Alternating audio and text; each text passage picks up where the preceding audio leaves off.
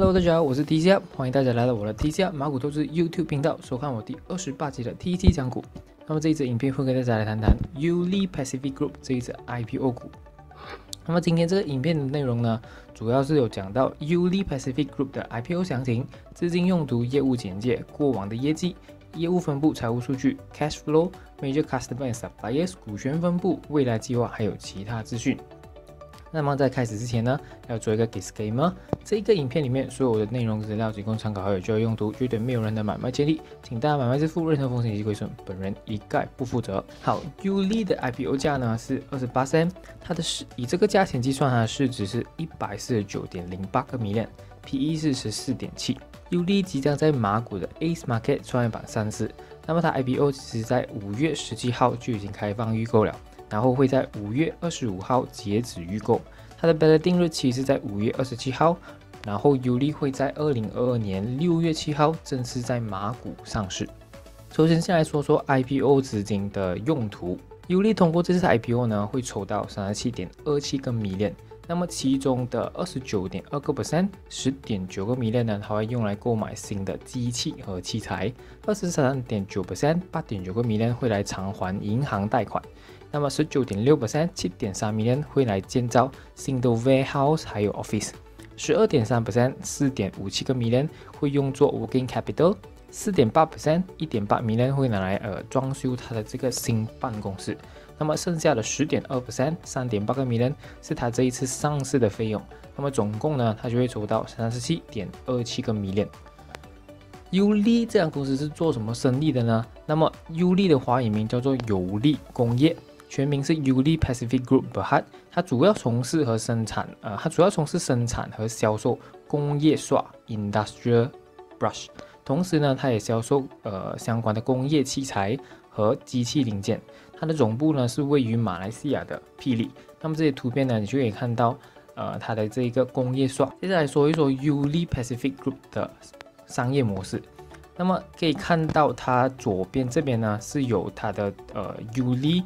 Indonesia、Uli Thailand 的这这三个主要的子公司是做呃 manufacturing of industrial brushes，所以主要是生产工业刷。而右边这个 YLPH 这个子公司呢，主要就是购买呃，主要就是销售这一个零件和呃器材。那么它的这个客户群的领域就包括呃手套、工业、电子、饰品、呃食品加工、农业。清洁服务、玻璃制造、呃木材制造等等的这一些领域。OK，那么优利所生产的这个工业刷有什么用途呢？OK，这边呢是呃一些领域的这个用途，比如说呃它的最主要的这个客户群是手套公司，所以在手套制造的过程呢，有一个步骤叫做 beading，所以在手套制造的过程呢，在这个步骤里面你可以看到。这个图片还是需要刷子去呃刷这一个刚刚生产出来的手套，然后做 cleaning 和 polishing 的。OK，这个输送带它是需要做呃清洁还有呃 polishing，所以也需要用到这一个专呃专用的工业刷。那么其他的这一些领域呢，比如说农业，呃，在玻璃和木材的制造上面，一些其他工业、食品加工方面。都会呃用到优利所制造的这一个工业刷，所以优利所制造的工业刷呢，它说是一个 wear and tear 的用具，也就是说，呃用用了一段时间呢，你就必须要换的。所以根据不同的这个应用方式、不同的领域、不同的种类，这一个呃使用这个工业刷的这一些客户，需要在一个星期到六个月之间去呃更换。那么公司通常会跟这些下 purchase order 的 customer 收取 advance 的 deposit。目前呢，尤利是总共有生产二十五种不同的 industrial brushes。那么 OK，那么接下来呢，看一看尤利在二零一八到二零二一财政年的这一个业绩表现。所以尤利的一个财政年呢，是跟着 calendar year 一样，一到十二月。那么这个图呢，显示的就是。优利从二零一八年到二零二一年这四年的营业额、gross profit 还有 net profit。那么呢，我会从呃这三个 revenue、gross profit 和 net profit 呢去讲一讲它过去这四年的业绩。OK，首先现在说说营业额。那么可以看到，呃，二零一九年它的营业额是有稍微的增长，主要是因为当年的这个销量跟价格有增长。那么在二零二零年呢，它的呃营业额呢是成长接近呃五十个 percent 的，OK，接近五十个 percent，四十多个 percent。所以呃当年这个销量跟价格也是增长。那么同时呢，他也说的，他也呃获得一个新的客户，就是一个台湾手套公司。那么在当年。这个公司也扩增了两条生产线来应对这一个很高的需求量。那么，二零二零大家知道是这一个疫情的这个呃时段，那么当时候这个手套的需求量非常的高，所以它主要的客户群呢是来自手套公司。所以呃水涨船高，手套的这个公司生意好，那么它需要用到更多的刷子，所以尤利在那个时候就有一个呃爆发性的成长。OK，那么在二零二一年，它的营业额继续增长，主要是因为销量跟价格还在继续增长当中。OK，第二个我们来看 gross profit。二零一九年虽然它的营业额上涨了一点点，但是它的 gross profit 只上涨了零点零三个 million，可以说是呃差不多一样。所以那时候其实是因为二零一九年它的原料价格上涨，所以它的生意做多了一点点，不过它的盈利方面呢是没有成长太多。被这个原料价格拉回下来。OK，二零二零年它的这一个营业额取得一个爆炸性的成长，然后呃又获得一个很好的呃利好，就是它的原料价格在当年因为疫情下跌大约十一点五个 percent，所以在呃需求量上升，然后原料价格又下跌的这个情况，它的 gross profit margin 呢就从之前的四十 percent 以下。成长到四十三点八个 percent。OK，那么二零二一年呢？二二零二一年呢？这个疫情就呃回到去正常了，就是呃变好了。然后这个原料价格呢也是回去了。OK，所以呃按年呢是上涨了大约二十九个 percent。所以可以看到它的营业额虽然继续增长，但是它的 gross profit 呢只是成长了一点点，因为这一个原料价格已经涨回来了。OK，最后来看这个青色的 net profit，在二零二零年，OK，这个零被我吃掉了，OK，太饿了。二零二零年的时候，因为原料下跌，销量还有价格的上涨，所以它的这一个呃 net profit 呢就成长了接近一百个 percent。OK，那么在二零二一年呢，公司因为要上市，所以它的 directors 的这个薪水也有上涨，然后它的员工数量增加。呃，labor fee 也有上涨，所以 staff cost 呢也有一定的这一个增长。除此之外，二零二一年还有一个零点二亿 million 的 listing expenses，所以可以看到，在二零二一年它的盈利是呃比去年低了那么一点点，OK，低了一个零点二七个 million，OK，主要是因为开销增加啦。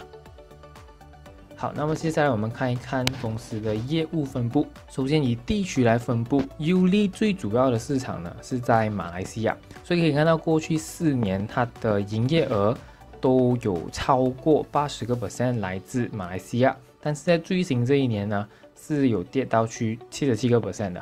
OK，那也就是说它出口到外国的业务是呃那个占比是有增长的。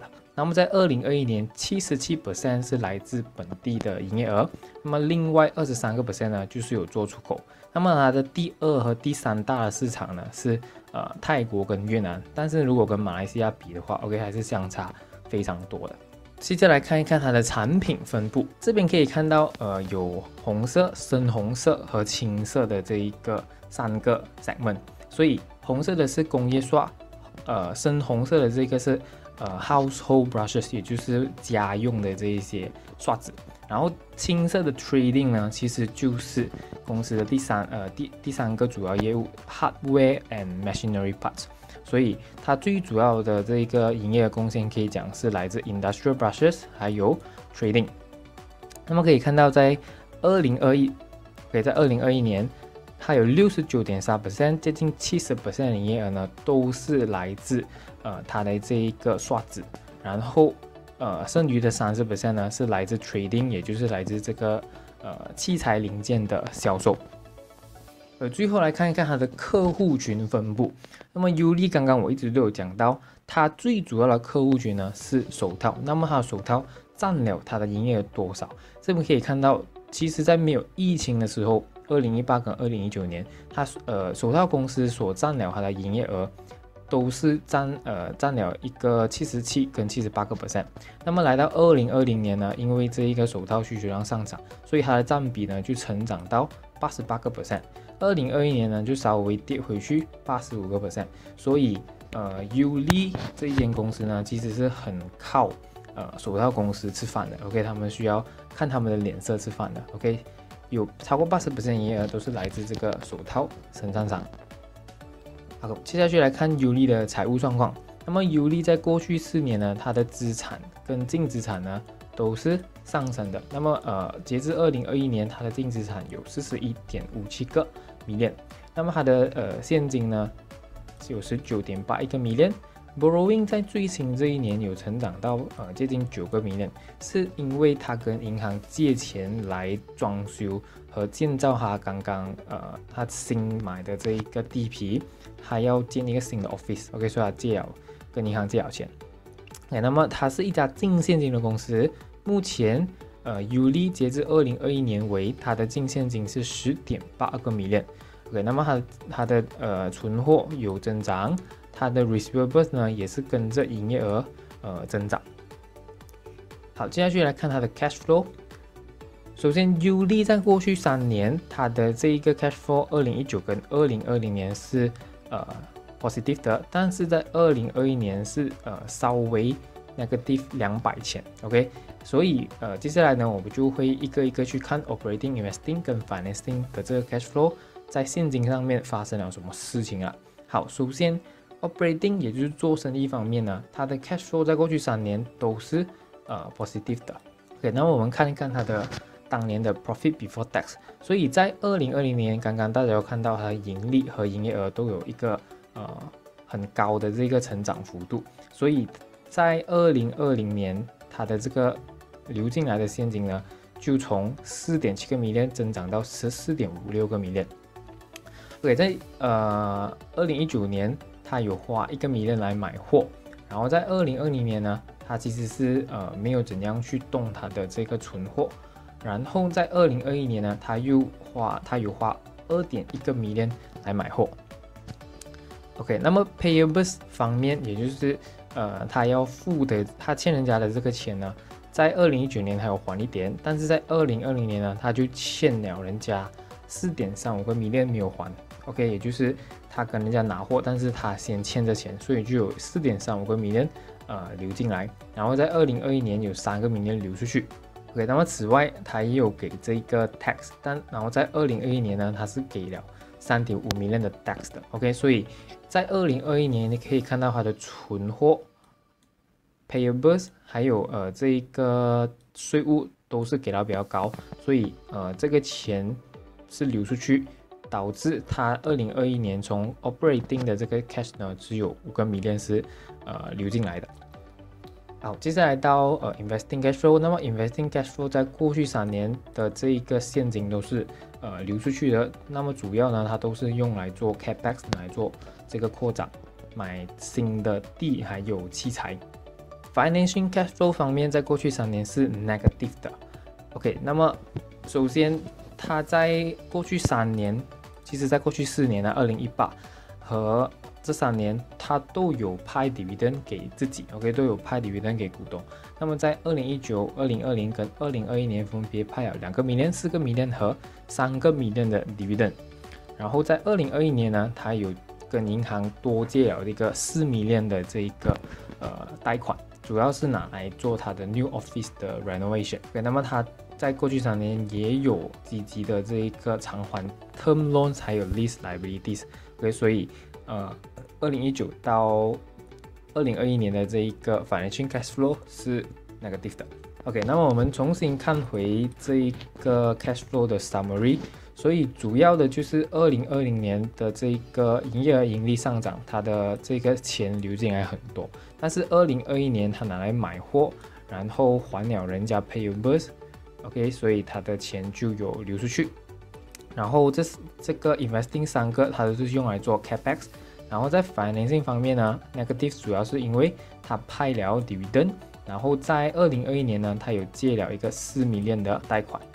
OK，所以这个就是它过去三年的现金流了。OK，那么给大家给大家看看 U 利的基本面数据，以它的 IPO 价二十八现在还有二零二一年的数据为准，它的 PE 是十四点七，Current Ratio 七点五，Debt to Cash 零点四五，Debt to Equity 零点二二，Price to Book Value 两倍，然后 ROE 是有二十四点三个 percent 的。好，U 利在二零二一财政年的主要 customer 五家呢都是手套公司。OK，刚刚我也给大家看到它的呃手套公司占了它的营业额是呃高达八十 percent 以上的。OK，所以它最主要的一个大顾客呢，在过去三四年，Top Love 都是它的最大客户。OK。的呃第一大的 major customer，那么在二零二一年，它占了它的营业额三十二点一个 percent，十四点五九个 million，OK，贡献了十四点五九个 million 的营业额。所以 Uli 跟 Top Glove 的这一个合作关系呢，已经长达二十年。那么第二家它也跟他合作了二十年的公司呢，就是 Latex Manufacturing s t e p h 那么这一家不是一间上市公司。但是它也是马来西亚的一家手套公司。对，那么呃，第二家第二个大股大客户就是这个 Precious Mountain Enterprise Corporation，在它是一家台湾的这一个手套公司，占了呃二零二一财年营业额的五点七个 percent。那么这个呃手套公司呢，是在二零二零年才开始跟 u l i 拿这一个拿货的，OK 拿这个刷子的。接下来 Care Plus。Latex 跟这一个哈达雷嘎都是 U 利的客户，所以总共呢，这五个大客户呢占了二零二一财政年五十点四个 percent 的营业额。OK，这个是 U 利二零二一财政年的主要 suppliers。那么它五个这个 suppliers 呢，其中三个是来自中国、香港跟泰国，都是他们拿这个原料的 suppliers。然后其他两个本地的 suppliers 呢，是刚刚拿水管和呃，这一个零件，那么这五个 supplier 占了二零二一财政年 purchase value 的五十四点八个 percent。好，接着来看一看 ULE 的股权分布图。那么它的这一个最大股东呢，持有五十三点四个 percent 的是 Mr. Ang Li Leong 这一位呃公司的 managing director。那么第二跟第三大股东呢是 Ang Li Seng 跟齐怀英。那那么 Ang Li Sen 呢，其实是 Ang Li Leong 的弟弟。然后，呃，齐怀英是 Mr. Ang Li Leong 的妻子，所以这两位呢也是公司的这个 executive director。所以这三个管理层呢，总共持有公司呃七十 percent 的股权。OK，那么接下来四点五 percent 它会 private placement 给 selected investor，十二点五 percent private placement 给这个 Bumi Putra，呃，三点零个 percent 给呃会给这个 eligible persons 持有，剩下的五个 percent 呢就会是这次 IPO 拿来进行 public planting 了。那么其中的二点五 percent 是会给 public，另外二点五 percent 是给 Bumi Putra。OK，U 利的未来计划有什么呢？首先，它在未来呢会继续开发新的产品，供应给不同的领域，来减少它对这个手套客户的依赖。那么，它将会花费它 IPO 资金中的十点九个 million 来购买新的 CNC 机器，来增加四条生产线。所以，这一个新的机器呢，预计会在呃，它购买了过后。增加每一年一点一八 million unit 的这个产量，然后这样一来呢，也会减少它对这一个劳工的依赖。此外，呃，尤利计划在二零二二年年尾建造一个新的办公楼跟呃仓库，这个是在它目前的这一个工呃这个工厂的呃隔壁建造的，所以这一个新的办公楼跟仓库预计会在二零二三年的年尾。才开始运作，然后二零二一年公司借钱在巴生的嘎巴买了一个地皮，然后目前呢是已经开始在建着这个新的 office 了，那么预计是在二零二四年的四月才完工，然后完工过后，他们就会用 IPO 资金中的这个钱来为这个新的 office 做装修了。OK，Uly 在二零二一年的 market share 呢，大约是十二点四个 percent。然后他目前呢，总共有一百四十一名员工，其中四十三名员工是外国的员工。他没有呃设定这一个 dividend policy。OK，那么以上呢就是我对 Uli Pacific Group 它这一支 IPO 公司的分享。那么你对这些公司有什么看法？你会不会预购它的 IPO？欢迎你留言讨论。如果你有意在网上开股票户口的话，可以 PM 零一七三九二六零二零。现在 online 只只要呃填写资料跟上传文件，就可以轻松的开到户口。那么欢迎你 join 我所有的资讯分享平台，join 我的 Telegram channel，follow Instagram，join 我 Facebook group，还有 subscribe 我的 YouTube channel。谢谢大家的收看。如果你喜欢这个影片，请 like and share，还有 comment。我是迪夏，谢谢大家，拜拜。